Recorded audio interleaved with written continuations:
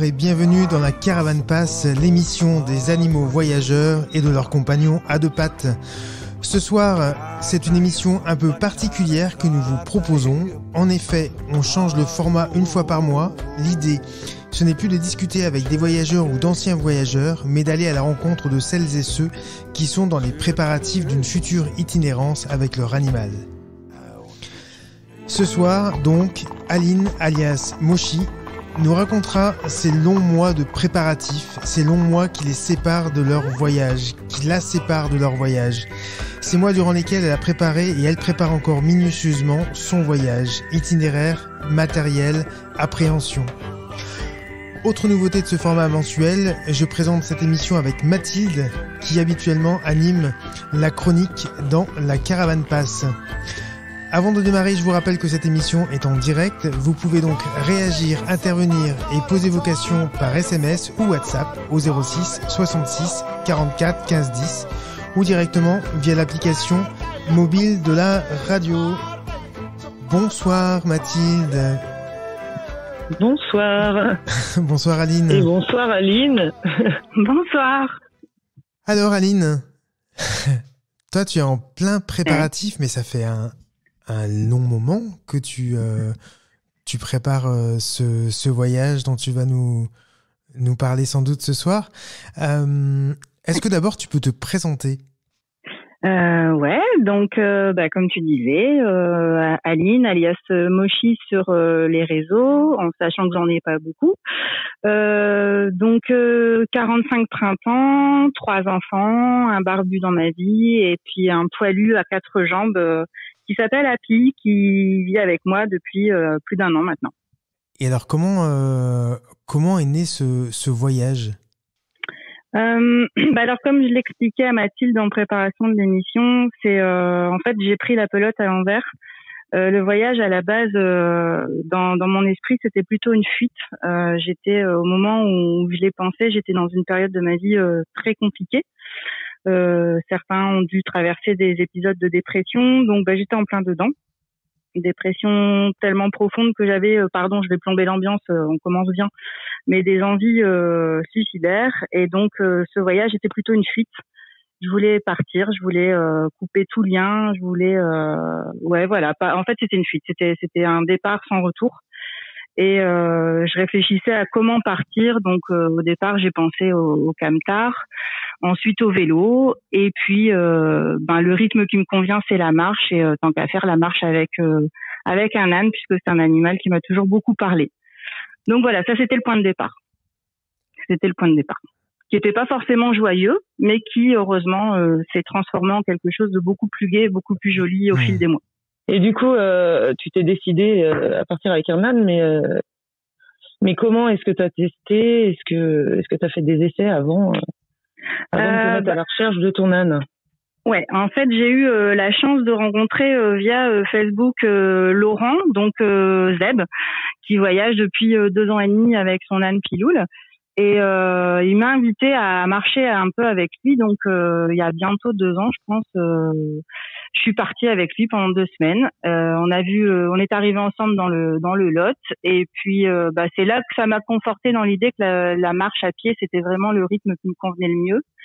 Et puis, euh, tu as le, as le temps de regarder ce qui se passe autour de toi, tu as les petites fleurs, euh, cueillir des fraises des bois, euh, et surtout rencontrer, rencontrer les gens, prendre le temps de leur parler. Tu vis à ton rythme, en fait. Tu, tu respectes ton rythme à toi, tu vis au rythme de la journée, de ce qui se passe autour de toi. Donc, voilà. Et donc là, je me suis dit, bon, ben voilà, c'est le format de de fuite entre guillemets à l'époque qui me convient, mais c'est vraiment comme ça que je veux vivre le voyage. Une fuite lente. Et puis fait connaissance avec l'âne oui, en plus de c'était que voilà. voyager avec un âne. Et... Euh, c'est ça. J'ai mis la, la réalité. Ouais. Voilà, j'ai mis la réalité euh, face au fantasme en fait, parce que l'âne c'était vraiment, comme je disais, un, un animal qui m'a. J'ai toujours dit quand je serai grande, j'aurai un âne. Quand j'aurai le terrain, j'aurai un âne. et puis bah là, euh, là pendant 15 jours, bah j'ai voyagé avec un âne, donc qui était pas le mien, donc et puis j'y connaissais rien, donc j'osais pas trop faire quoi que ce soit à part le, le gratouiller, et puis mais ouais, quand tu connais pas l'animal, t'as peur de faire des bêtises, donc. Euh, bah oui. voilà, donc mais ouais, non, vraiment, ça m'a conforté dans l'idée. Donc quand je suis revenue, j'ai commencé à chercher le mien. Alors justement, tu connaissais rien. Est-ce que avant de l'acheter, cette, cette âne, tu tu t'es Enfin, comment tu t'es renseigné Qui est-ce que tu as été voir pour, euh, euh, pour, en, pour en acheter un? Euh, Est-ce que tout de suite tu voulais l'acheter ou tu envisageais peut-être de, d'en louer un Comment, comment a évolué ta, ta démarche? Alors à l'époque j'avais un fort sentiment d'urgence, j'ai fait les choses un peu vite.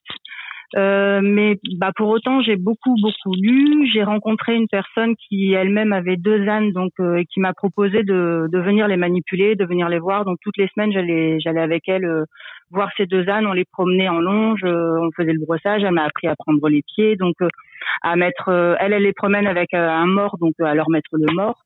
Donc et à éviter les, les conneries de base qu'on peut faire avec un équidé et d'autant plus un âne. Donc déjà l'approche, elle s'est faite tout doucement. Et puis euh, tout, euh, tout, enfin, je te dis, je me suis beaucoup, beaucoup documentée euh, sur les des, des, groupes Facebook, euh, entre autres sur euh, de la littérature un peu plus, un peu plus, pas, scientifique, mais un peu plus étayée. Et puis ensuite, ben, je suis allée rencontrer un éleveur passionné d'âne et j'ai fait pas mal d'allers-retours dans sa ferme pour pour rencontrer Happy et euh, passer du temps avec lui. Donc euh, commencer à, me promener avec lui pour qu'on se fasse l'un à l'autre, qu'on s'apprivoise en fait. Et puis j'ai conforté tout ça quelques mois après avec un stage, euh, un stage pour Danier en fait, un stage en Belgique pour un stage Danier général. D'accord. Pour avoir les bases et tout ça. Voilà. Ok. Et, et cette âne alors, tu l'as acheté, mais en fait, on peut dire que le vendeur a pas été très, très honnête? Bah, je je veux pas remettre en cause son honnêteté. Il y a une grande part de ma faute aussi parce que j'y suis allée euh, euh, un peu comme un gamin qui se jette sur un paquet euh, au matin de Noël, tu sais, ah youpi, j'ai mon âne, euh, j'y connaissais rien à l'époque, donc maintenant je saurais vérifier son âge, je saurais poser les bonnes questions, je saurais si l'âne est éduqué ou pas. À l'époque, on m'a dit, écoute, il est pieds en main, il a 5 ans, c'est bon, tu peux le battre, il donne les pieds, il fait tout.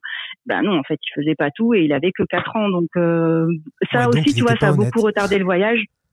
Ben voilà, si tu veux le présenter comme ça. bah non, Disons que je pense qu'il a vu que j'étais dans l'urgence et qu'il a voulu me, me refouler âne. Ouais, voilà. voilà. c'est euh, voilà. Et On va dire comme ça. Si tu veux, c'est quand même la santé de l'âne. Euh, euh, qui met en qui met en jeu aussi quand tu dis à quelqu'un qu'il a 5 ans et qu'il peut le battre alors qu'il en a pas tout à fait 4 ça, ça. ça pose problème voilà. Et qu'à 5 ans, ils sont pas finis de toute façon, donc faut attendre de toute façon. avant de les battre pour de vrai. Voilà, voilà. Donc et même de toute façon, honnêtement, enfin, il aurait dû me dire, écoute, Aline, t'es pas prête, t'es pas prête. Je peux pas te, te mettre dans les dans les mains euh, un animal euh, dont tu connais rien, parce que tu risques de te faire mal et de lui faire mal à lui aussi. Donc euh, bon, me connaissant, je serais peut-être allé voir quelqu'un d'autre pour avoir mon âne, mais je demain je vends des ânes, j'en confie pas à quelqu'un qui était dans mon état à l'époque, mmh. honnêtement. Hein. Oui, puis un jeune sans expérience en plus, quoi. Bah c'est ça, lui il avait toujours vécu au troupeau. Bon, il, il participait à des, il faisait partie de du troupeau qui faisait des animations de village, donc euh, il a vu plus ou moins l'habitude du bas déjà et puis d'être monté. Hum, mais bon, euh, c'était pas, c'était pas un, il était pas prêt à, à vivre ce que moi je voulais lui faire vivre à l'époque. Pas du tout.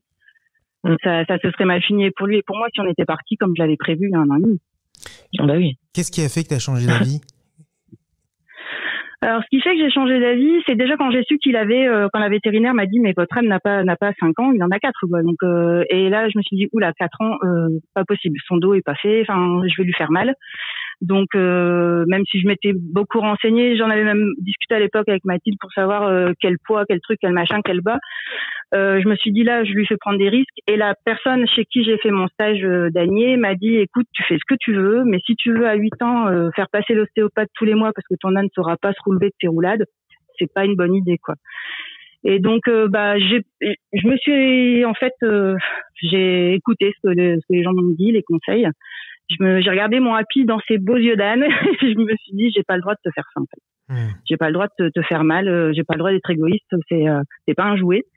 Donc, euh, et puis après, je me suis rendu compte que de toute façon, il fallait du temps pour construire une relation de confiance entre entre lui et moi. Que ça se faisait pas en deux jours. C'est pas magique. Donc, il fallait que je prenne confiance en moi aussi, moi par rapport à lui, et puis que je que je revoie complètement ce que j'avais prévu de faire, qui était du grand n'importe quoi, et que je me prépare et que je le prépare bien. Hmm. Voilà. Ouais. Parce que dans l'urgence, c'est jamais bien. Quoi. Ah non, jamais non, les non, bien. ben non, sauf à vouloir prendre un mur. À l'époque, c'est ce que je voulais, mais bon, plus après, tu vois. Donc, euh... ouais, non, non. Après, je me suis dit bon, allez, tu te calmes, tu lèves le pied, et puis euh, au final, j'ai bien fait. Certainement. Dans quel état d'esprit tu es à ce moment-là quand tu décides de, de repartir et, et, du coup, euh, ben, tu nous expliquais cette, cette fuite, cette envie de, euh, de, de, partir coûte que coûte. Comment tu es à ce moment-là où tu tu, tu, constates que bah non, tu partiras pas là tout de suite. Euh, alors à la base, j'avais prévu de partir un 19 septembre. Et euh, le, donc j'avais j'avais euh, la date était posée et euh, le 13 donc une semaine avant j'ai eu un très grave accident de voiture euh, dans lequel bah, duquel je suis sortie indemne ce qui est un miracle donc et là je me suis dit bon stop on arrête il y avait eu une série comme ça de petites alertes euh, qui, qui, me faisaient penser que il y avait quelque chose qui allait pas, j'étais pas dans, j'étais pas bien alignée dans mon chemin, ça n'allait pas quoi. Et cet accident de voiture, ben ça, c'est tout con, mais ça entraîne des paperasses, ça entraîne euh, ben, des soucis physiques qu'il a fallu euh, régler, des un impact psychologique aussi qu'il a fallu gérer parce que ben du jour au lendemain, moi qui adorais conduire, j'avais un peu peur de monter dans ma voiture. Donc donc et là je me suis dit il y a un truc, il faut pas que je parte maintenant en gros, c'est con, hein, chacun, chacun voit ce qu'il veut, mais euh, je me suis dit, c'est, c'est un signe, il faut pas que je parte maintenant. Donc, il a fallu l'encaisser, de me dire, ben, je m'étais dit, je pars le 19, en fait, ça se fera pas. Maintenant, je fais quoi? Parce que c'était mon seul objectif à ce moment-là, partir. Maintenant, je fais quoi? Et mmh. puis, ben, en fait, je me suis posée. Euh, puis je me suis rendu compte que j'étais pas toute seule, que j'avais quand même ma famille, mes enfants qui étaient euh, qui risquaient de souffrir de mon départ aussi, puisque c'était un peu un peu n'importe quoi, un peu précipité. Que j'avais euh, ben mon homme qui était là en soutien, euh, a pu trop savoir quoi faire pour m'aider aussi lui de son côté. Donc ben, je me suis posée en fait. J'ai profité quelque part de, de cet accident pour revoir les choses. Et puis, puis après ça a été mieux en fait. C'est bête mais ça a été mieux. Mmh. j'ai commencé à sortir la tête de l'eau et puis euh, à retourner la crêpe et à voir les choses, à prendre la pelote dans le bon sens. Et du coup, ta petite famille, maintenant, comment ils le prennent ce, ce futur voyage? Ils bah, comment euh, avec toi ou alors mon mari c'est même pas la peine. Alors là, hein, bon, euh, lui le, le, camping il veut pas en entendre parler. De toute façon, euh, j'arrête pas de me moquer de lui parce qu'il a attrapé le petit bobo de son âge. Donc euh, ce que je te disais tout à l'heure, rentrer dans la tente il pourra, mais l'en faire sortir, faudra le désincarcérer. Donc euh, je sais pas s'il saura trouver. donc donc non, lui ça l'intéresse pas, c'est pas c'est pas son truc. Donc les petits, bah j'ai un grand de 20 ans qui lui m'a dit maman tu fais ce que tu veux, moi je suis là, il a sa chérie donc ça l'intéresse pas. Euh, mon second qui va sur 15, lui, bah oui, peut-être pourquoi pas venir de temps en temps, ouais, peut-être aller marcher un petit peu. S'il y a une glace au bout, pourquoi pas. Celui qui serait le plus intéressé, c'est le petit dernier qui a 10 ans, qui forcément, bah lui, euh, est super content quand on va à la pâture voir euh, notre âne, et camper sous la tente avec maman, ouais, ça doit être trop canon, donc voilà. Mais mais bon, après, ils sont contents pour moi. Ouais, voilà, il y a dix ans, il, s'émerveille encore de plein de choses. Donc, euh, mais euh, et puis, ben, de temps en temps, quand je dis, ben tiens, j'ai prévu de faire ça dans autant de temps, mon mari me regarde et puis il me dit, t'es pas censé être sur la route avec ton aile à ce moment-là? Ah bah si, tiens, c'est vrai, t'as raison. donc là où avant ils avaient peur de me voir partir, maintenant ils sont. Pour moi, c'est un projet de famille maintenant, même s'il y a que moi qui serai sur la route avec Happy c'est euh, ce que je vivais toute seule renfermée euh, sur moi, c'est ça s'est élargi, ils ont adhéré et puis ben la preuve qu'ils ont adhéré, c'est que là on recherche un deuxième âne à adopter. Donc euh, d'accord. Oui, ils ouais. tiennent vraiment vraiment là. ah ouais ouais. Ah ouais, ah ouais c'est clair, c'est clair. on n'a pas demandé dans, dans quelle région tu vivais? Alors moi je suis dans le Grand Nord, je suis j'habite au-dessus de l'île. Ah oui, c'est le Grand Grand Nord. Ah bah je traverse la rue, je suis en Belgique, hein, donc euh, je ah suis vraiment à la frontière. Il y a que les, icebergs qui vous séparent en fait. Oui, et puis oui, puis euh, en plein été on a des pulls, gna gna gna. Oui. c'est ça, j'habite dans un igloo. Ah d'accord, ok. Le Nord. Très belle région. Que ben ouais, enfin ouais. J'y suis pas passé. Et j'ai failli, mais c'est une très belle région. C'est beau, mais j'y suis jamais allé. non, mais en tout cas, pendant mon voyage. ton parole, c'est magnifique. Pendant mon voyage, pendant mon voyage, oui. Ouais. Ouais, non, bah, enfin, ouais, c'est bien, ouais. Hmm. Non, c'est joli. Je suis allée chercher, pardon. Je Je suis allée chercher ma, mule dans le Grand Nord et c'est vraiment très joli hein, par endroit. Il y a des endroits très sympas, ouais. Hmm. Ah, bon, moi j'habite en ville, donc c'est pas là que c'est le plus joli, hein, franchement. Ouais, pour se promener, il y a mieux, mais. Ouais, bah ça va, c'est une ville où il y a quand même pas mal de champs, d'agriculteurs et tout ça autour, donc mais bon, c'est toujours la ville, quoi. C'est hein, hmm. bon. Ouais. Et on a noté la, petite phrase euh, il y a de beaux endroits, de, de c'est magnifique par endroit. Voilà, c'est tout ce que je retiendrai de, ah de cette bah, phrase. mais comme dans toute région, comme dans toute région. Donc, salutations à l'office de tourisme local. Pour lequel je ne travaille pas. Bon, ça va. Est-ce que tu peux nous dire euh, pendant euh, les, nous parler de tes préparatifs du, du premier voyage, j'allais dire euh, celui, celui qui, qui, qui n'a pas eu lieu. comment tu, tu voyais ton itinéraire, le matériel? Est-ce que finalement tu prends les mêmes et tu recommences cette année Est-ce que, est-ce que tu as modifié des choses? Euh, alors, euh, au, départ, euh, l'idée, bah, comme je vous expliquais, c'était de partir et de pas revenir. Donc, euh, allez hop, je lâchais les amarres. Et euh, advienne que ce qui est pas forcément très. En tout cas, moi, c'est pas le truc qui, qui me va bien. là, je le vois plus comme un. Bah, en fait, Ouais, un petit un, voyage en pointillé. C'est-à-dire que mon but premier, c'est de rejoindre l'Ardèche. D'ailleurs, Stéphane prépare le gâteau et le café, j'arrive. Ça marche. et euh, donc pour pour revoir le village, euh, le village où habitait ma tante euh, quand j'étais gamine et qui, qui, a plein de souvenirs, ou dans, dans lequel j'ai plein de souvenirs. Donc euh, voilà, je veux je veux aller en Ardèche et sur ma route, ben passer voir des gens de ma famille qui qui habitent sur le trajet et rencontrer plein de gens aussi. Ça, tant qu'à faire, très sympa. Et euh, mais mais je veux pas euh, partir de l'île et puis euh, arriver au Vence en une étape. Tu sais, je vais je vais partir déjà. Je vais commencer par partir une journée avec Happy pour voir si il tient la route et si moi je la tiens. ensuite, si on s'éclate pendant une journée, on partira deux jours pour voir si je survis à une île bivouac et si lui ne prend pas la poudre des tempêtes. Et voilà, tu vois, je veux y aller progressivement pour qu'on s'habitue l'un et l'autre à ben, toute une journée sans les copains de pâture, moi toute une journée euh, sans avoir euh, à m'occuper des enfants. Ça, ça peut être sympa par contre. Mhm. Mais ah donc, c'est euh, vachement bien, je confirme. Ah ouais, ah ouais, je te prends ta parole. Hein. je vais partir tout de suite.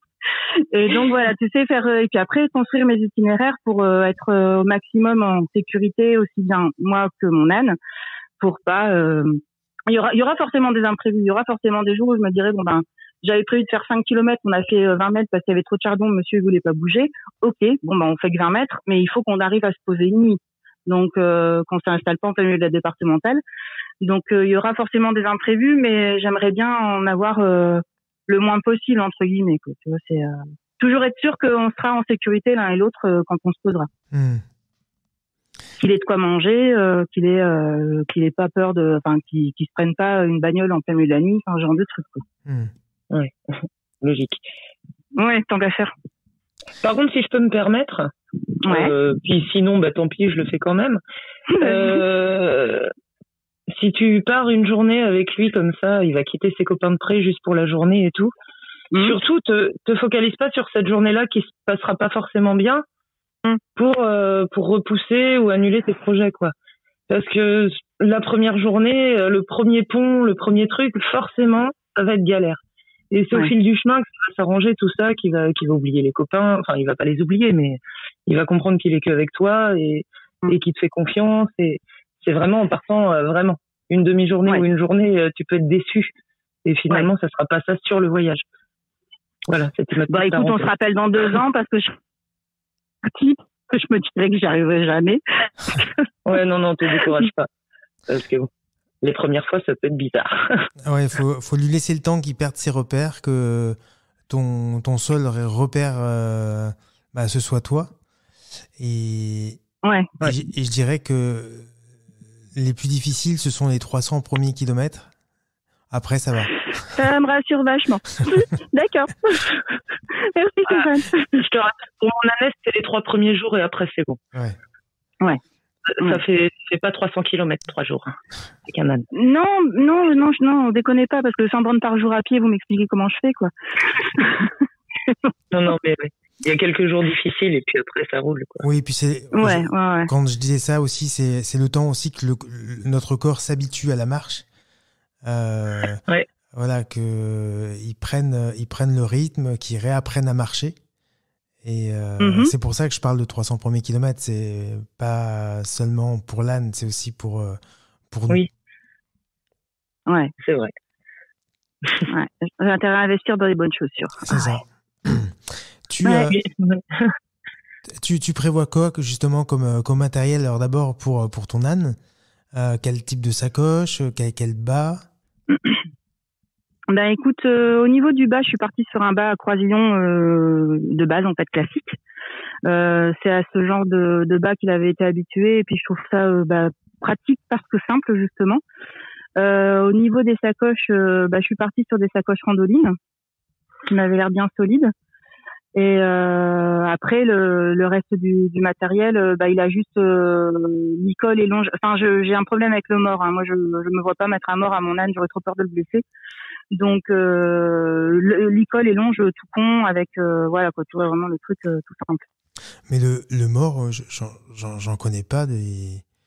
Je connais pas de voyageurs qui ont qui utilisent le mort pour pour leur voyage. En âne, non. En mule, on en voit quelques-uns. Hmm. Bah, les, aussi aussi bien chez son enfin chez son éleveur il avait euh, la première fois que je l'ai vu on a fait les foins tu sais donc pour la pour on a fait des allers-retours entre le champ et le la grange avec le foin donc avec le bas. Et il avait euh, alors je ne sais pas comment ça s'appelle hein, c'est un tout un, une sorte de licol avec un mort intégré euh, qui était prévu pour pour un poney. Et j'ai eu l'impression de torturer cette pauvre bête. Donc je crois que c'est ça qui m'a vraiment euh, euh, fait peur. J'aime pas du tout euh, la, la, contrainte. S'il s'amuse pas dans le voyage s'il s'amuse pas en marchant avec moi il y a aucun intérêt.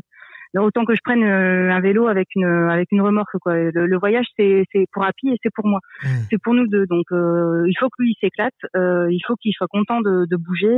Il faut qu'il qu'il ait envie et euh, le contraindre, je vois pas. Les seuls moments où je le contraindrai, c'est quand on aura des passages un peu un peu compliqués, s'il faut traverser une route ou un truc comme ça où on pourrait potentiellement être en danger. Là, ouais, je prendrai je prendrai la main en disant c'est moi qui commande. Mais sinon, ce que je disais à Mathilde tout à l'heure, si je dois faire 500 mètres, la dernière promenade qu'on a faite, on a fait euh, un kilomètre en deux heures et demie parce qu'il était tellement content de sortir et de grignoter tout ce qui se présentait. Je l'ai laissé manger tout ce qu'il voulait, quoi je m'en fous, on est bien, on est en promenade, on, est cool, on n'a pas d'impératif de temps, on n'a pas, euh, on est bien quoi, on se fait plaisir l'un et l'autre. Hmm. Donc euh, voilà, donc voilà, tout matériel tout simple euh, déjà pour commencer, et puis faut pas, faut pas que ce soit trop compliqué ni pour lui ni pour moi. Donc je suis plus de première jeunesse, hein, donc voilà, il faut que je battre et débattre et, et, et dedans, tu mets quoi dans tes dans tes sacoches?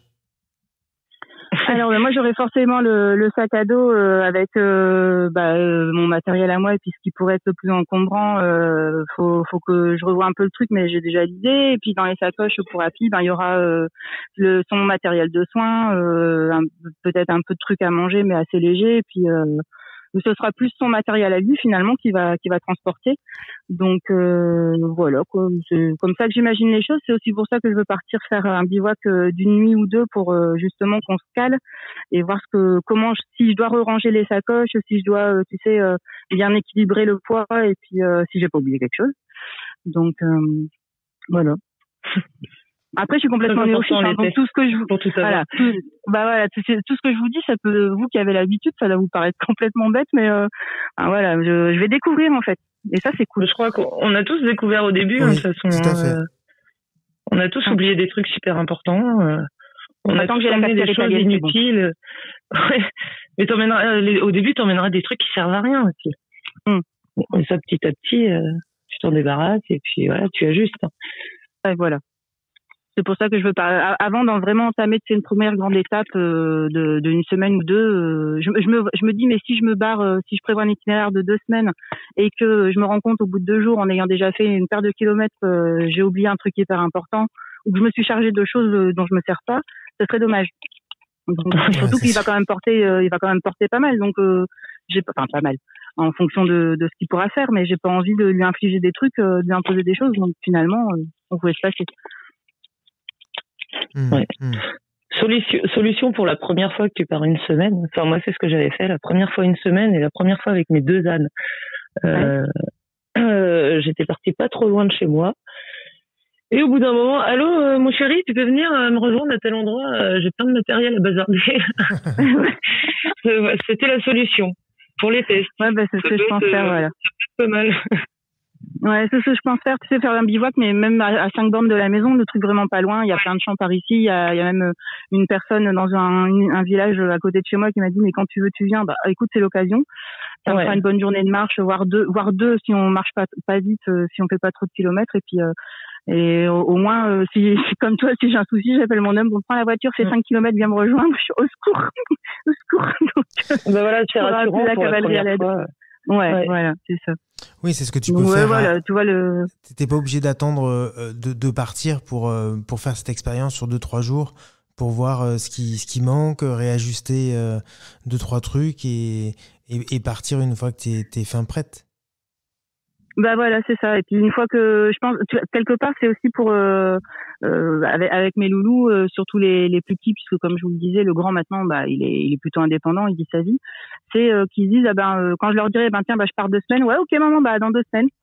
Ah, ah non maman, pars pas et s'accrocher avec Basque, tu sais, je veux, je veux qu'ils le vivent bien aussi. Mmh. Donc voilà, que ce soit vraiment, comme je disais tout à l'heure, un, un, un voyage familial, même si je suis la seule sur la route et pas euh, pas qu'il soit malheureux comme les pierres euh, parce que maman elle est pas là quoi. Mmh. Ouais, pas partir égoïstement. Ouais, ouais, voilà, c'est ça. C'est mmh. plus, voilà, c'est ça. Je veux qu'il partage les choses. Euh, bah, quand j'étais partie avec Laurent il y a deux ans, tous les soirs, j'avais un coup de fil de, de, bah, de mes hommes. Et euh, c'était vachement sympa de leur raconter la journée. Ça, ils l'ont super bien vécu euh, parce qu'ils savaient que pour, que je partais déjà pas toute seule, donc ça les avait rassurés. Et puis que tous les tous les soirs, on serait en contact. Euh, dans la journée, je leur envoyais des photos. Le soir, on se téléphonait. Donc ça, c'était c'est comme ça que je veux qu'on le vive. Ouais, ouais c'est bien. C'est bien. Ouais. On va faire une petite pause euh, musicale euh, et puis on se retrouve okay. juste après. On the Road Again, Bernard Lavillier. À tout de suite. À tout de suite. À tout de suite.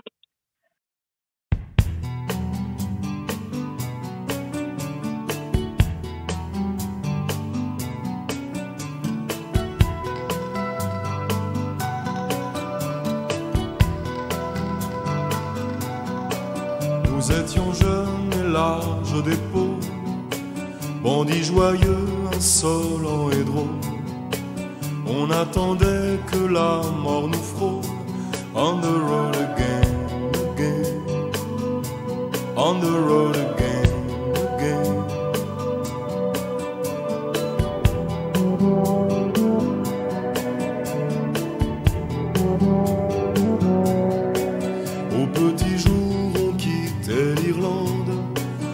Derrière nous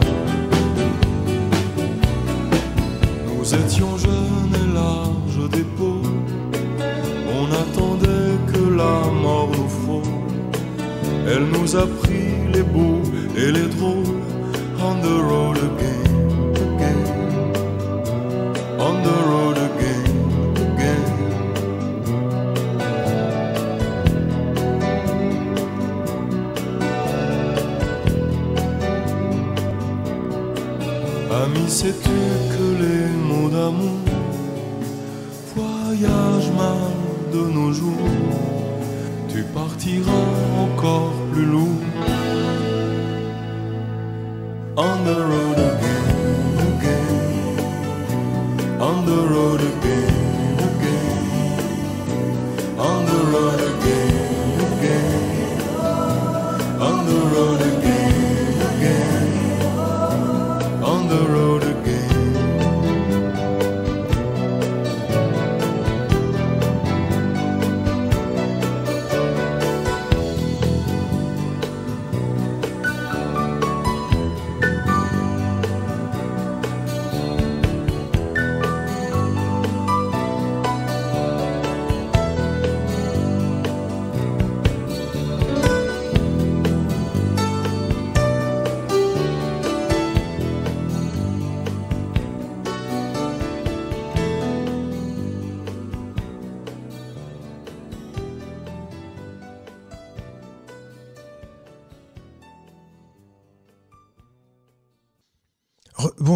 vous êtes toujours sur Allo la planète dans l'émission La Caravane passe.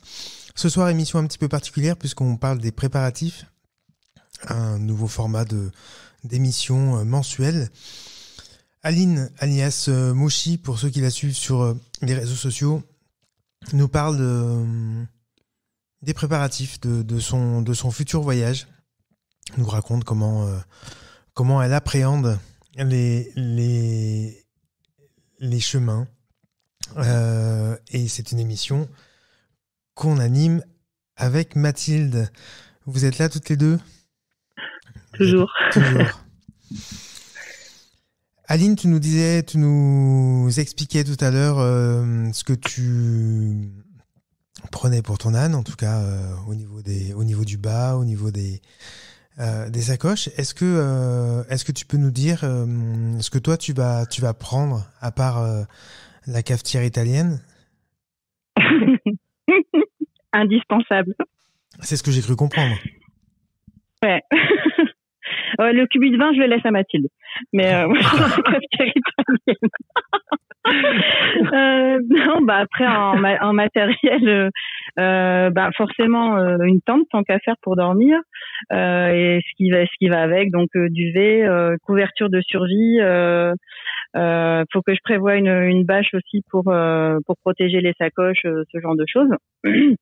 Et puis euh, euh, une petite trousse de secours forcément pour les bobos, euh, des bonnes chaussures tant qu'à faire et euh, ouais pas pas trop me charger euh, euh, de, de quoi pas me promener toute nue pour pas choquer les riverains mais ouais ouais. J'ai pas j'ai pas trop dans l'idée. Je suis pas une grande une grande tréqueuse et une grande randonneuse hein, donc euh, c'est euh, quand quand j'aime beaucoup marcher mais euh, quand je marche c'est en jour- c'est sur la journée. Puis euh, le soir je rentre à ma maison. Donc j'ai tout le confort. Donc euh, partir comme ça plusieurs jours, euh, je l'ai jamais vraiment fait, tu sais. Donc euh, voilà, et je vais certainement me rendre compte, euh, pareil, euh, qu'il me manque des choses, mais euh, ouais, ça se verra au fur et à mesure du chemin. Je me rendrai bien compte de ce qui me manque ou de ce que j'ai pris en trop, comme disait Mathilde. Donc euh, voilà, donc une tente, une tente, une place, euh, parce que je compte pas euh, inviter de sanglier dans ma tente. Donc euh, voilà. Ok. Et, c'est vrai qu'on on se on, lâche des, affaires qu'on a qu'on a qu'on a amenées euh, qu'on n'utilise pas. Moi, je pense à la douche solaire. Il y a plusieurs euh, Ouais, j'en avais acheté une, mais Ah. je sais pas si ça va me servir en il y a plein d'auditeurs qui nous qui nous parlent de leur douche solaire et qui s'en Ouais. servent pas en fait parce que c'est un peu compliqué. Déjà, il faut trouver de l'eau, euh, faut la mettre au Ouais. soleil. euh, Et ben quand t'arrives, euh, il y a pas forcément euh, de rayons euh, suffisants pour chauffer l'eau. Enfin bref, souvent elle reste, euh, elle reste au fond du sac et elle finit dans un dans un colis. Retour à la maison. c'est ça. Non, et puis bah les après il faut bien se rendre compte quand on part comme ça que bah t'auras pas c'est sûr qu'on abandonne un certain confort mais bon est-ce qu'on en a vraiment besoin? Euh, le- l'indispensable je pense que ce sera le rouleau de papier toilette n'est-ce pas? Mhm. et puis euh, de quoi faire une toilette de chat euh, quand je trouverai un peu d'eau. Et puis euh, voilà enfin je suis pas je suis pas le genre de nana qui a besoin de passer trois heures dans la salle de bain tous les matins. Donc euh, c'est pas gênant. J'ai pas de brosse à cheveux. Moi je m'attache les cheveux. Donc euh, j'ai pas besoin de passer trois heures à me faire un brushing. Je me maquille pas. Je me parfume pas. Enfin suis très nature, donc euh, n'est-ce pas? Donc c'est vraiment ça le, le manque de confort euh, salle de bain, je m'en tape. Franchement, hmm. c'est vraiment pas un truc. Euh, donc c'est plus du voilà histoire d'avoir une veste pour avoir chaud, un pantalon. les vraiment le, principal ce sera les, les bonnes chaussures et j'ai déjà de toute façon donc j'ai déjà bien utilisé donc elles sont faites à mon pied et voilà c'est vraiment pour moi la base. Hmm. Après le reste, honnêtement, je l'ai vu quand j'avais bivouaqué, enfin quand j'étais partie 15 jours avec, avec Zeb. Euh, impressionnant comme les gens peuvent t'ouvrir leurs portes, t'offrir une douche, t'offrir un petit déjeuner, euh, de l'eau si t'en as besoin. Euh, c'est il y a toujours des, tu fais toujours des rencontres au bon moment finalement quand t'en as besoin. Donc je compte là-dessus. Enfin je je m'inquiète pas pour ça, tu vois. Ouais. Non puis voilà, c'est vrai que l'hospitalité des gens fait le fait le reste et il faut compter un petit peu dessus. Euh... Ouais. Hum, hum. Ouais. Bah, et puis je suis pas, je suis pas sans ressources, donc euh, si un jour euh, bah, il faut que j'aille, je sais pas moi, euh, prendre une douche dans un hôtel ou bien, eh ben je le ferai. Il n'y a pas de, c'est tout, il n'y a pas de hum, souci. Oui, il y a toujours une solution. Ouais, voilà. Je, je me, là-dessus, j'ai autant je suis quelqu'un qui s'angoisse vite, autant là-dessus, j'ai aucun stress. Aucun stress. T'as bien raison. L'itinéraire. Et tiens, pardon. Vas-y, vas-y. Ouais, non, je pensais, tu nous as parlé du matériel pour Happy, mais pour la nuit, t'as prévu quoi? De le mettre en parc ou, ou de l'attacher? Alors, le parc, j'aurais trop ah. peur qu'il se barre. Donc, euh, j'ai acheté une, une, une, sorte de piolet, là, de, tu sais, de, de barre d'attache, avec euh, une, une longue longe euh, solide pour pouvoir l'attacher en espérant au maximum trouver euh, des prés clôturés où je pourrais le, lui enlever le licol et puis euh, le laisser gambader comme il en a envie. Mais pour les fois où ce sera pas possible, euh, j'ai pensé sécuriser comme ça en fait. Ouais. Alors moi j'avais d'où l'intérêt de tenter. Moi j'avais acheté j'avais acheté ça, je m'en suis jamais servi. Ah, d'abord parce que parce que les terrains sont pas toujours faciles pour ce type de, de piquet.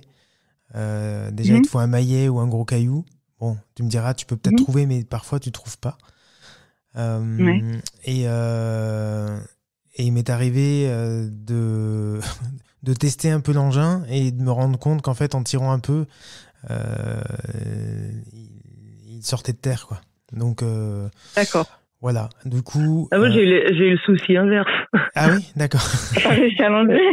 j'ai un ami qui, qui m'en a fabriqué, mais euh, des costauds que j'emmène pas parce qu'ils sont très très lourds. C'est ça, ils font 15 tonnes. Ouais. Euh, ouais, j'en ai emmené un quand même la première fois que je suis partie avec ma mule. J'ai bien fait hein, parce que toute seule, elle aime pas trop. Euh, je l'ai tellement bien enfoncé que le matin, bah tiens, euh, impossible de l'enlever. J'ai tapé dessus euh, sur les côtés pendant pendant 20 minutes, une demi-heure avant de réussir à le sortir quoi. Donc, bah, je vais me faire les bras.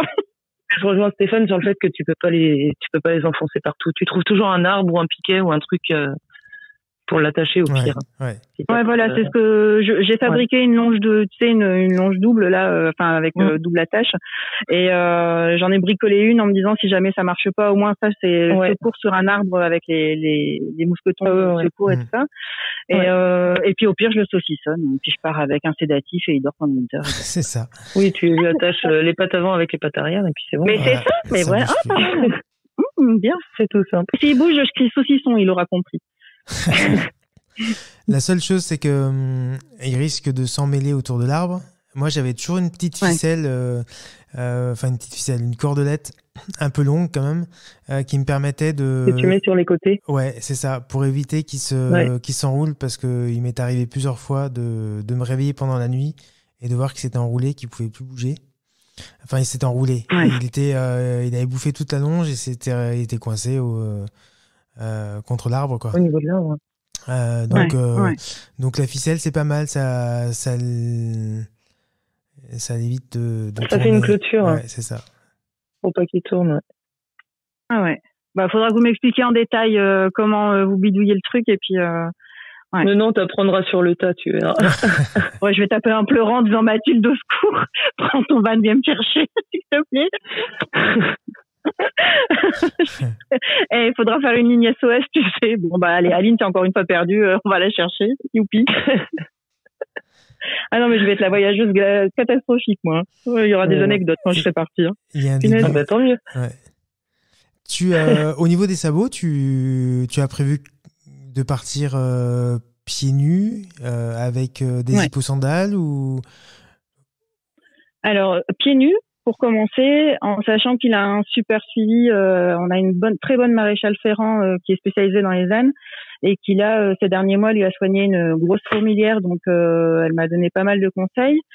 Donc, euh, je vais partir avec euh, certainement un petit flacon d'huile de cadre pour nourrir les, les sabots, faire en sorte de rester en contact avec ma maréchale Ferrand quand je serai sur la route et puis de, bah, de lancer des, des SOS aux podologues équins si j'en croise aussi. Mais non, a priori, on part pieds nus. Et euh, les hipposandales, bah, si je me rends compte qu'il a qu'il a des douleurs ou qu'on aborde des terrains qui sont un peu plus compliqués pour lui, euh, pourquoi pas? Pourquoi pas? Mais Hmm. pour l'instant, il en a pas. Mais c'est vrai que pour l'instant, il vit au pré, donc euh, il en a pas besoin. Donc, Ouais. Bon, moi, en trois Et ans, ça, j'en c'est ouais, forcément. euh, Ah ouais, bah donc tu vois. euh, En fait, Non, a pri- a priori, la nature est bien faite. Je laisse vivre ses pieds euh, comme ils sont prévus, et puis euh, j'aviserai s'il commence à. Et de toute façon, s'il a des trop gros soucis de pied, on rentre et basta. Hein.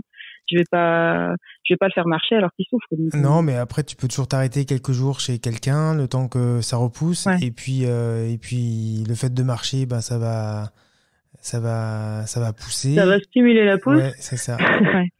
Exactement. Bah, après, comme j'ai prévu de faire le, le voyage par étapes, euh, comme je vous disais tout à l'heure, ce sera euh, euh, faire, euh, enfin prévoir des petites étapes et puis revenir à la maison, euh, donc en- avec un transporteur. Si d'ici là, euh, j'ai vendu un rein et qu'on a acheté un van, euh, je demanderai à mon amoureux de venir nous chercher. Mais euh, ouais, donc euh, parce que je me vois pas partir deux mois complets sans voir mes enfants et mon homme. Donc on va faire des petites étapes, revenir, repartir. Donc ce sera, je vais arriver en Ardèche, je ne sais pas quand, mais ce sera un voyage en, en pointillé et euh, pour trouver un équilibre, tu sais, entre euh, les moments d'évasion avec euh, avec mon poilu à grandes oreilles et les moments de famille avec mon poilu. euh, là, je parle de mon mari. Hmm. Voilà, donc donc euh, donc bon, dès que je sentirai qu'il a besoin de, de repos ou de d'être tranquillou pendant quelques temps, euh, ben on remontera et puis voilà quoi. Après, si les pointillés durent pas trop longtemps, tu trouveras toujours quelqu'un qui peut te garder ton âne pendant une semaine, 15 jours, le temps des vacances. Ouais. Euh, Bah ouais. Oui. Et euh, remonter en, en blablacar ou, ou en train selon où tu te trouves et, et revenir euh, pour poursuivre le voyage. Ça, tu, tu trouveras. Ah, ouais, ça je ça je sais je sais que c'est largement faisable. En- mais bon, me connaissant, sachant que j'ai jamais euh, su laisser partir mes enfants en colonie, je ne sais pas si j'arriverai à laisser mon âne euh, pendant une semaine ou deux euh, ailleurs que près de moi. Donc, euh, mais bah après, après euh, je suis pas fermée à l'idée. hein. Hum, hum. Mais euh, voilà. On, on verra. euh, un- ça aussi, tu vois, je me fais pas trop d'angoisse là-dessus non plus. Parce que je sais qu'il y a beaucoup, beaucoup de gens qui sont très généreux et, euh, et qui sont prêts, euh, ben, ne- n'est-ce pas Mathilde, à accueillir euh, les animaux d'autres personnes pour donner un coup de main et tout ça. Donc, euh, Mm. donc voilà, je m'a- je- là-dessus, je m'inquiète pas pour ça. Franchement, euh, ouais. Tu, tu nous parles d'itinéraire euh, en pointillé. Est-ce que tu peux nous, justement nous en parler de cet itinéraire? Est-ce que tu sais euh, par là où tu, tu voudrais passer pour arriver en Ardèche? Alors, euh, en fait, mon gros point euh, de stress, honnêtement, c'est de sortir de la, de la banlieue lilloise, qui est quand même une, grosse euh, métropole très urbaine. Donc, euh, je voudrais euh, descendre, ben, voir, voir ma famille dans l'Aisne, en fait. Et il faut d'abord sortir de la banlieue lilloise. Je m'interroge de savoir euh, si euh, je fais confiance euh, aux outils style Google Maps euh, pour euh, repérer les petits sentiers. Euh, je ne sais pas encore me servir des cartes IGN, donc je sais que beaucoup de voyageurs les utilisent. Donc ça c'est vraiment le, la prochaine étape, me, re- acheter une carte, voir comment ça fonctionne et puis construire un itinéraire et voir si ça fonctionne vraiment.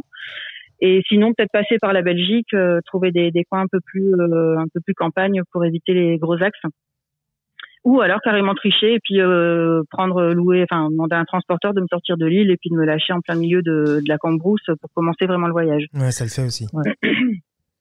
voilà pas mal parce aussi, que ouais, honnêtement euh, j'ai fait une fois une promenade avec Happy euh, ben là là où j'habite et euh, pour euh, voir comment il réagissait au bruit d'une route qui qui est passante Euh, on est passé dans une rue euh, où il y avait beaucoup de voitures Et on, j'ai senti son stress, il a senti le mien. Il a été impeccable. Euh, c'est là que je me suis rendu compte qu'il me faisait confiance.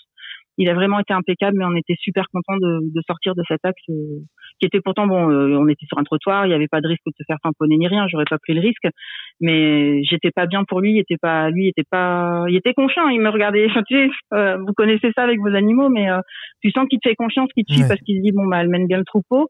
Mais j'ai pas, j'ai pas du tout apprécié l'expérience et lui hmm. non plus. Mais en même temps, en voyage, il va falloir que tu qu'il apprenne les, les bruits, qu'il qu'il euh, qu'il gère ses, ses peurs, c'est pas vraiment ça, mais euh, en tout cas qu'il prenne l'habitude de, de, tout l'environnement, euh, des, des, routes, des, des, lieux où tu vas passer, des, des villes ou des, banlieues, mm. parce que tu vas en traverser.